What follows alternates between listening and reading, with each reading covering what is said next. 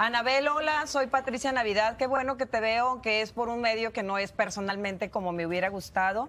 Eh, a mí me mencionas en uno de tus libros con tres historias distintas. Hay una la cual yo acepté y conté desde que pasó porque me enorgullece y cuenta a mi favor, en la cual deja en claro mis valores, mi integridad, mi dignidad y quién soy. Pero hay otras dos historias que mencionas que son completamente falsas.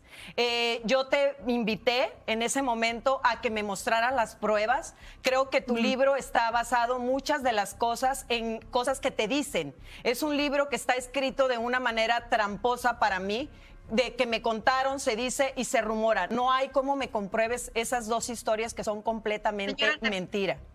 Señora Navidad, creo que usted conoce poco del derecho penal y del derecho penal romano. En cualquier caso criminal, en Estados Unidos, por ejemplo, cuando juzgan a funcionarios públicos, cuando juzgan a narcotraficantes, testimonios son prueba. Lo han dicho, no sé si usted ha tenido oportunidad de ir a cubrir esta o asistir como público, porque cualquiera puede ir. Ahora que probablemente sea el juicio del Mayo Zambada, ser una buena clase para usted y para otros que no entienden cómo funciona este sistema, te lo digo sí. No, bueno, yo no me dedico al narcotráfico ni tengo ni un solo nexo como usted lo ha dicho. Quise ponerle una demanda, señora, quise ponerle una demanda. No puedo porque su libro está escrito de manera chismosa. Usted lo tiene que vender como cómics, como ciencia ficción o como chismes. Usted revuelve verdades con mentiras y al usted combinar verdades con mentiras se pierde el valor de todo su libro. Y yo le pregunto, ¿cuáles son sus fuentes? Porque entonces hay que investigarla a usted. Hay que investigarla usted entonces. ¿De dónde saca usted todas estas fuentes de que le dicen no hay prueba? Al menos conmigo, no hay ni una sola prueba de la, de la residencia que dice usted que a mí me dieron, de las joyas que dice usted que me dio un tal futbolista que en mi vida había escuchado ni siquiera su nombre. Usted no me puede comprobar absolutamente nada, nada. Y vamos a medir colas. Si usted va a hablar, ¿quién es usted para juzgarme a mí? ¿Quién es usted para juzgar a muchas mujeres lo que hagan con sus vidas?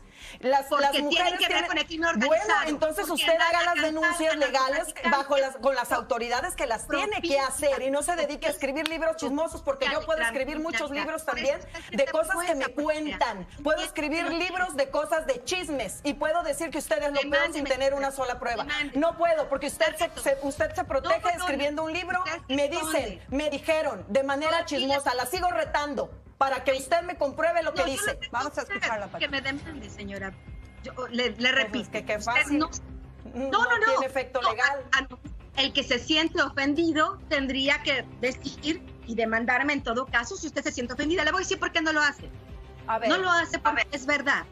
No lo hace porque. A ver, enséñeme la residencia y las joyas, la reto. Debe de tener usted testigos. Enséñeme los testigos, la reto, para que usted me compruebe a mí, porque se van a caer todas sus mentiras, señora. Ni usted ni nadie tienen derecho a decir nada de mí.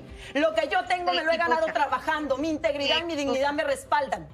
Hay una sola historia que fue verdad y me favorece. Hay esa del futbolista que no conozco y hay otra de prostitución que tampoco es verdad, señora. Más de esta plática entre Anabel Hernández y Pati Navidad mañana aquí en la mesa caliente. Gracias por haber estado con nosotros.